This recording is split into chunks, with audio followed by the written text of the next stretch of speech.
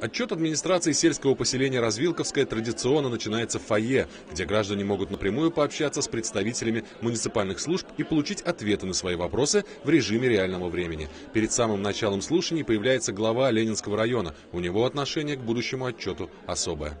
Ввиду того, что в 2016 году полномочия по э, исполнительного органа были переданы в Ленинский муниципальный район. Следовательно, я э, должен относиться самокритично к тому, какое будет сегодня обсуждение. Чтобы присутствовать на мероприятии могли все желающие, его назначают по окончании рабочего дня. В президиуме на сцене руководители поселковой и муниципальной, исполнительной и законодательной властей. Первое слово взяла исполняющая обязанности главы сельского поселения Марина Комардина. Во вступлении она отметила, что прошедший год стал переходным к новой системе территориального управления, формированию и расходованию бюджета. Она напомнила, что в 2016 году полномочия администрации поселения осуществлялись структурными подразделениями муниципалитета. Большую роль в взаимодействии населения и районных служб играет многофункциональный центр «Мои документы», филиал которого расположен в здании администрации сельского поселения Развилковское. Количество обращений граждан в МФЦ увеличивается за последние годы в десятки раз. В конце 2016 года в структуру центра перешел паспортный стол. Исполняющая обязанности отчиталась о доходных и расходных статьях бюджета, в частности, о поддержке муниципальных программ. По словам чиновницы, были проведены ремонт и реконструкция отдельных участков поселения. Велась социальная работа, активно поддерживались культура и спорт.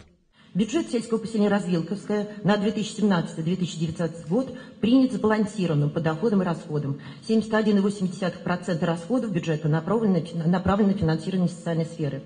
Марина Комардина рассказала о реконструкции двух детских садов и строительстве в поселении школы искусств. Она озвучила планы на 2017 год по ремонту нескольких многоквартирных домов. В отчете администрации была также отражена критическая ситуация, сложившаяся в поселке нынешней зимой.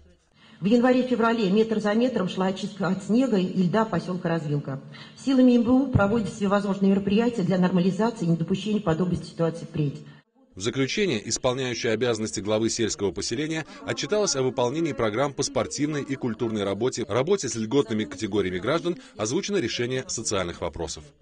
В своем обращении к жителям Подмосковья 31 января этого года губернатор Московской области Андрей Юрьевич Воробьев подчеркнул, что идеология лидерства – это удел сильных.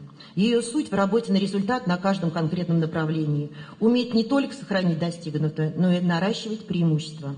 В то же время мы прекрасно понимаем, что и нерешенных проблем еще очень много.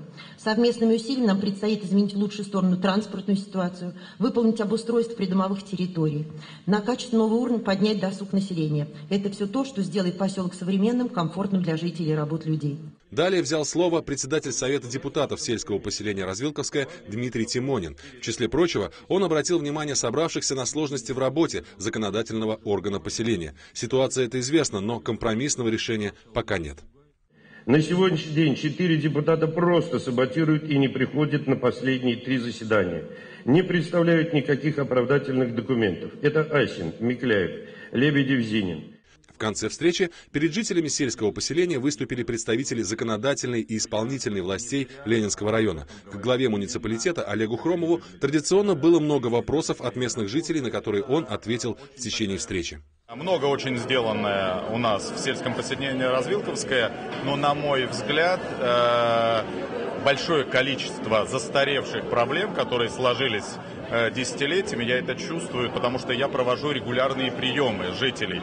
И я это все слышу не э, из каких-то даже просто соцсетей, хотя и соцсети я тоже отслеживаю. И у нас в развилке очень много активных пользователей, которые отражают свою позицию, и она является правдивой. И это все помогает в работе э, менять ситуацию в ту или иную сторону. По окончании официальной части прошло награждение активных работников культуры, спорта, социальной сферы, общественников сельского поселения Развилковское. Максим Козлов, Алексей Руднев, Анастасия Нурхонова. Видное ТВ.